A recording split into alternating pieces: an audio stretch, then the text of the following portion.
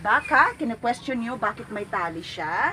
Kasi dapat oriented siya sa mga tao. Piling-pili po ito for future bore.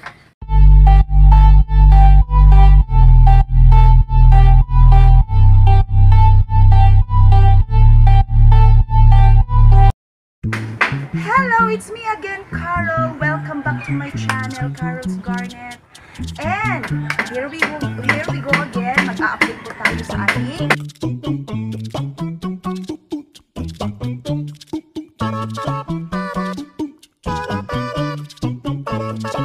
bago yan. This place is our first uh, build namin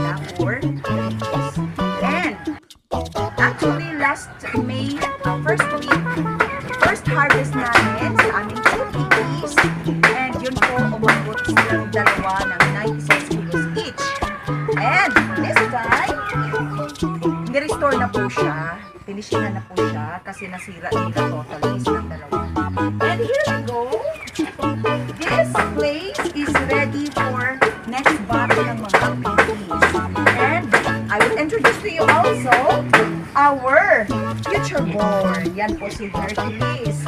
And, ayan po, baka kine-question nyo bakit may tali siya. Kasi dapat oriented siya sa mga tao. Piling-pili po ito for future born. Ayan po, kung sa Tagalog at sa Bisaya, ito po yung sinasabing bakal. And, next, ito po yung next project namin, ang aming automatic ng cookies. Ayan po inikot as in-utilize lang po namin. And then, we'll go to the other pig pens. Ito po sila to be harvested next month katapusan or to make it 3 months and 15 days possible first week of July. Ayan po sila. Dito po yung uh, four pigs namin. Ayan po. Steel risal. And ang mga eaters na pigs namin, binabatch namin sila kasi mas eater kasi ito compare yan. So, possible nito, harvest time, June, last week. Ayan po. Kasi fattening po kami. Focus on fattening. But nakapag-dispose na po kami ng dalawang ah, baboy na ah, good for lechon. Po. So, kailangan nilang umabot ng 80 kilos above saka sila i-harvest. Ayan po sila. So, four, ayan po yung four. Nakakategorize po yan sila.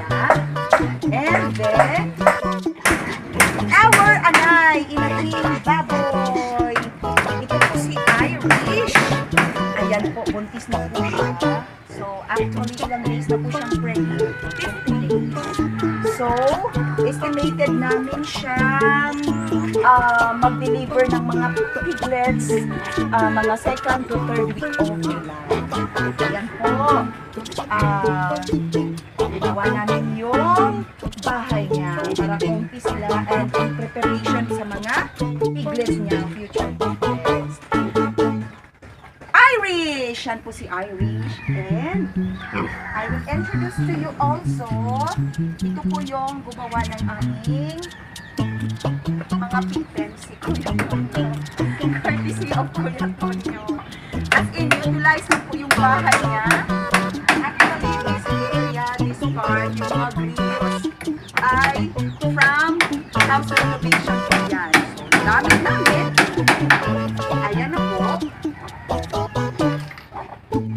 Sa previous vlogs ko, hindi ko siya na-introduce kasi pinili ko siya.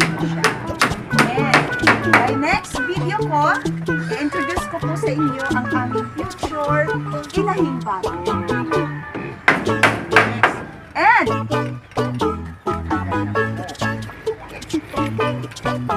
Fourteen, 14 po yung ano niya pwede. Ayan po, ready po siya.